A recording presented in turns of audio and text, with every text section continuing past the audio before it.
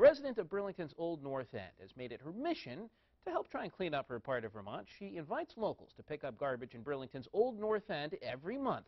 She started doing it when she noticed there was more trash than trash cans in the area, and she said, feel, uh, she said doing this feels great.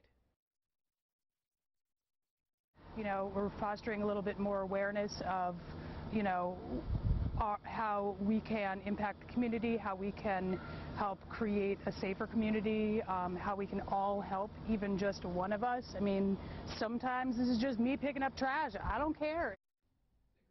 Corner of North Street and North Champlain Street the last Sunday of each month.